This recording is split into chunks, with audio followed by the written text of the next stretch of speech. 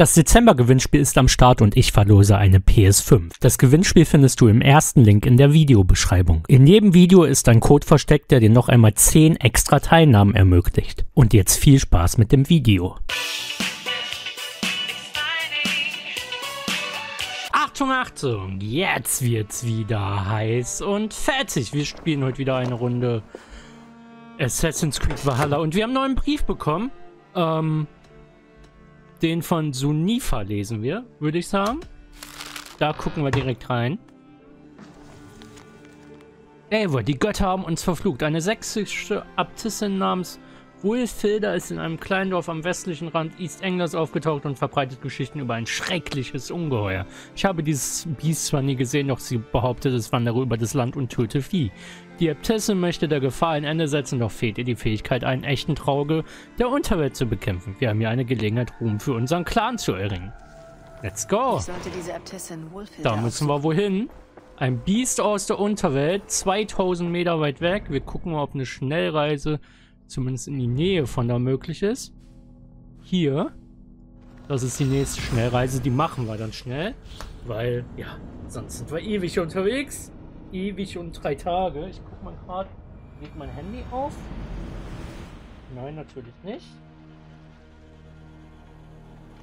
Es hat einen Wackelkontakt.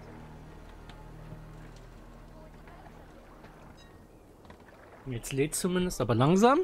So, wir müssen noch ein paar Meter, um genau zu sein 900. Deswegen lenken wir jetzt einmal hier rum. Und sägen dann hier weiter. Ein gutes Stückchen. Segel! So.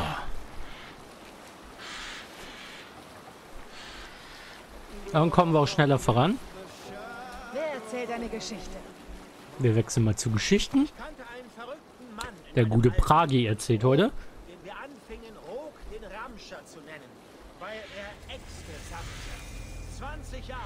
East Angler sind wir jetzt angekommen. Nicht einen Tag verbrachte er in der Schlacht, doch er schwor bei Thor, dass es geschehen würde. In seinem 31. Jahr nach zu viel Ale verführte Rook die Frau eines anderen.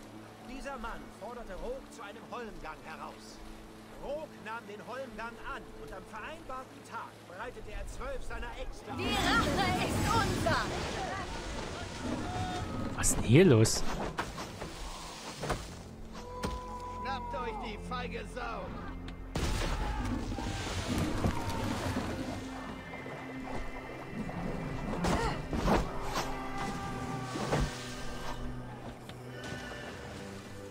Die träumen auch davon, die könnten mich holen, ne? Segel! Segel runter!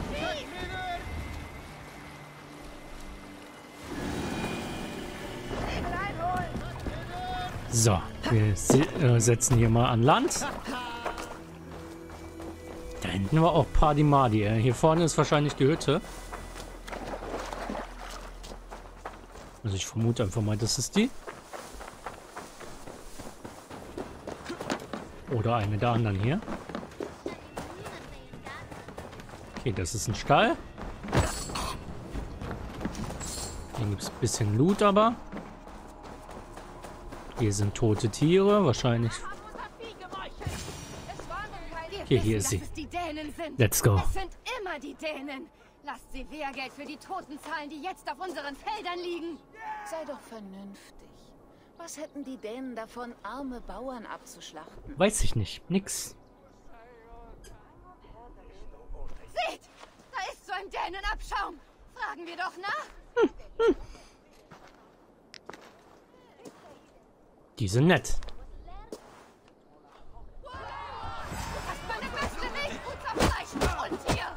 Ich habe deine Herde nicht angerührt. Macht es nur schlimmer.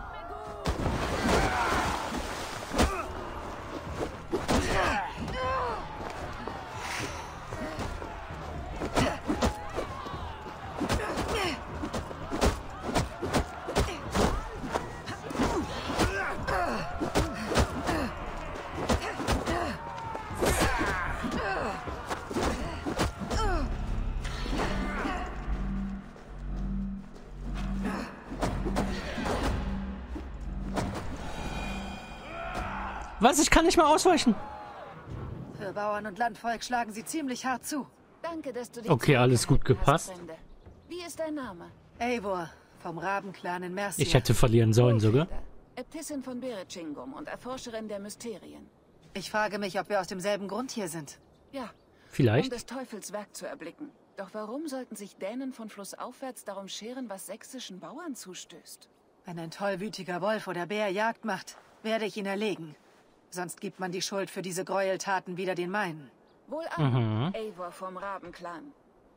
Sieh dir die Opfer an und sage mir, welche Art Bestie dafür verantwortlich ist. So, wir müssen uns die Opfer angucken. Das war hier. Ich könnte mit den toten Kühen beginnen.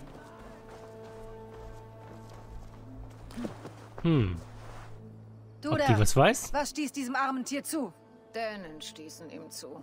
Wie kannst du sicher sein? Es war Chotgas Kriegsbande.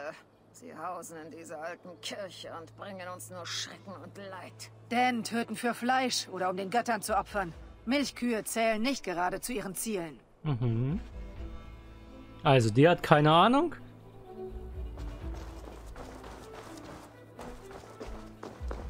Bissspuren, doch von keinem Tier, das mir bekannt ist. Und der Kadaver ist mit seltsamem Moder bedeckt, obwohl die Wunden frisch sind. Mhm, mhm, mhm. Blut. Und es ist noch frisch. Wohin führt die Spur? Wo ist ihr Blut? Ich sehe keine Blutspur. Ein Jötun war es. Ich hab's gesehen. Er war groß Wer, wer, wer, wer, wer? Seinen Zehnten eintrieb. Ah, die hier oben reden. Die wissen bestimmt mehr. Ihr seid ja tapfer, dass ihr euch so nah herantraut. Ich hab's gesehen. Dränger wirklich. In der Nacht, als es geschah. Alles. Was Okay. hast du gesehen? Ein Wolf? Ein Bären? Einen tollwütigen Hund vielleicht? Ein Jötun war es. Er war so groß wie ein Baum und er lachte, während er das Tier zerriss. Was ist ein Jötun? Er hat seinen Namen geschrien. Grendel. Grendel. Jetzt die Frage natürlich. Wo finde ich Grendel?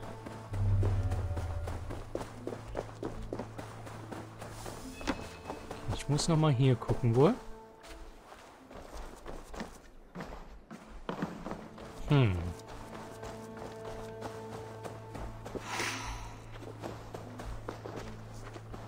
Hier ist nix.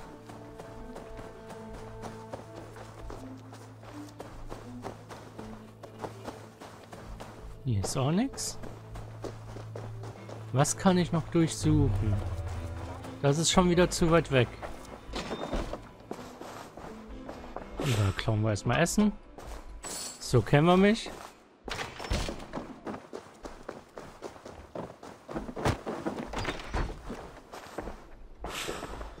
Muss ja wahrscheinlich dieser Dingsspur folgen. Dieser Blutspur, die ich nicht gesehen habe.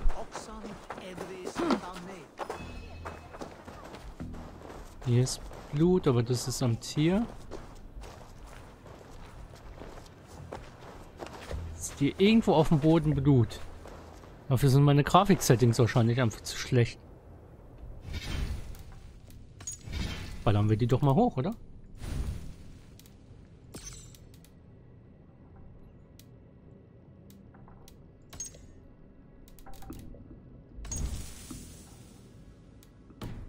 Spiel neu starten, schade. Will ich jetzt nicht. Hier sind Blutspuren. Hier hoch. Bei den Göttern. Welch Ungeheuer schleuderte das arme Tier dort hoch in sein Verderben? Okay. Welches Tier hinterlässt denn einen feucht glänzenden Moder auf seiner Beute? Dennoch gab diese Frau einem Chodka und seiner Dänenbande die Schuld. Ist das das Werk von Menschen? Nee, nee. Wer es auch war, hatte genug Kraft, um einen zerfleischten Tierkadaver auf ein Dach zu bringen.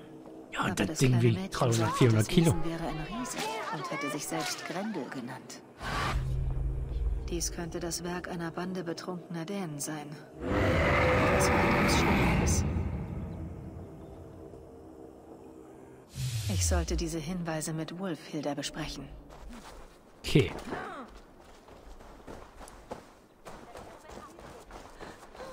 Wolfhilder, ich habe alles, was ich konnte, von den Dorfbewohnern in Erfahrung gebracht und den toten Tieren. Und wie liest du dieses Mysterium?